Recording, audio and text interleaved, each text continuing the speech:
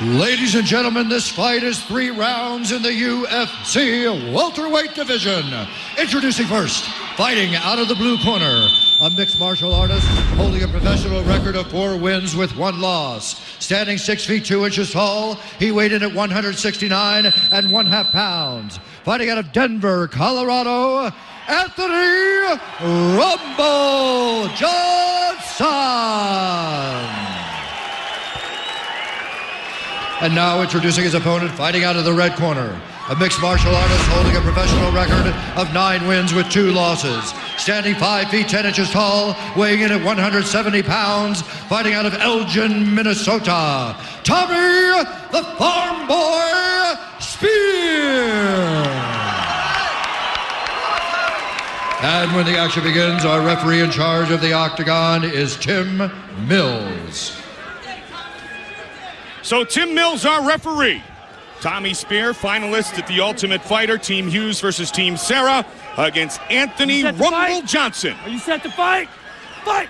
And here we go. Tonight's clock sponsored by Subway Restaurants. Subway, eat fresh. This is a really interesting matchup because both these guys have a good wrestling background, but Anthony Rumble Johnson's got some serious power in his strikes. Good inside leg kick early. Both very athletic and very explosive. Two good kicks so far by Johnson. One low, one high. And Good a right hand by Johnson. Tommy didn't like it. Immediately tries to shoot. Left Uh-oh. hook. He's hurt. Tommy Speer is in trouble here early. Johnson three three is is so Johnson. fast and powerful.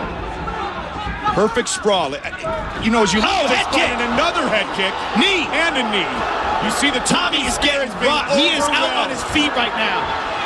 Johnson trying to finish it quickly. Johnson is just pouring it on. Oh, that's it. It is Unbelievable. Huge knockout. Tommy Speer is still unconscious. Unconscious against the cage. Huge knockout by Anthony Johnson. Man, he got cracked. Johnson is on fire. I mean, look at these shots just coming from all angles. There's a, a, a jab dropped him there. It's accumulation of punches. Here's There's a the right one. hand. Boom. That was the one that finished him. I mean, he just stayed in that position. Ladies and gentlemen, referee Tim Mills has called a stop to this contest at 51 seconds of the very first round, declaring the winner by knockout, Anthony Rumble Johnson.